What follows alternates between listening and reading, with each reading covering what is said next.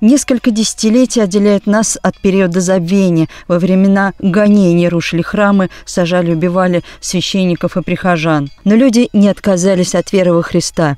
Несмотря на машину репрессий, остались верны православию. В Свято-Троицком храме села Конобеева на фасаде увековечена память местных новомучеников Николая Скворцова и Владимира Ушкова. Сегодня особый день, когда верующие обращали молитвы к святым на архиерейском богослужении.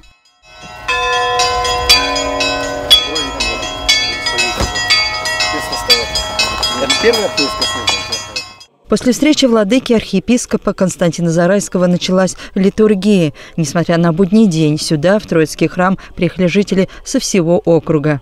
О святе воскресенстве, священномучениче Николы, мучениче Владимире, в храме всем подвязавшиеся, один из новомучеников – священник Николай Скворцов. Его чаянием с 1907 по 1911 год построен новый Троицкий храм в селе Конобеево. Другой, Владимир Ушков, служил здесь старостой. Он жил рядом с домом Лидии Ивановны Кузнецовой.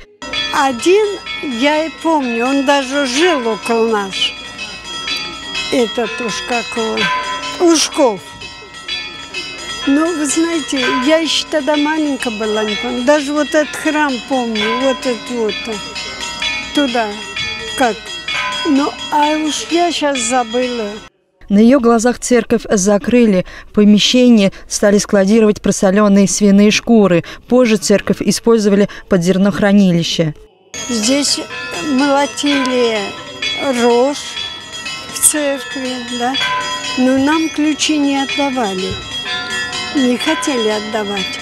Все помню, как дочь, как приходили, а как а вот... все здесь развал был.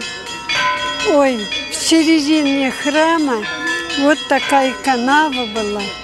Привозили, засыпали там ее. Ну, все, что могли, делали. В 90-м году Лидия Ивановна с другими прихожанами стала по крупицам восстанавливать храм. Рос приход. Только за последние годы при нынешнем настоятеле протерее Сергея Рыбакове после капитального ремонта стен стало светлее. Обновили алтарь, установили на фасад памятные доски канабельским святым.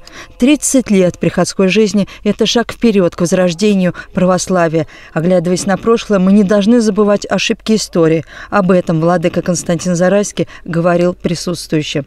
Наши новомученики – это нам некое напоминание о том, что мы должны быть верными Богу не только в свободное время, но и во время, когда не очень радостно. И причем это касается не только времени, связанного с государственными реформами, это касается нашей личной жизни. Поэтому наши новомученики, а сугубо этот святой храм знаменит тем, что здесь два э, человека, связанные с этим храмом, батюшка и благочестивый мирянин, вот, канонизованный Николай Владимир. Вот они покровители этого святого храма, они молитвики за этот храм перед Богом. Вот, и мы должны обращаться к ним в молитве вот, чтобы когда нам бывает трудно и тяжело, чтобы через них мы укреплялись в делании доброй христианской жизни.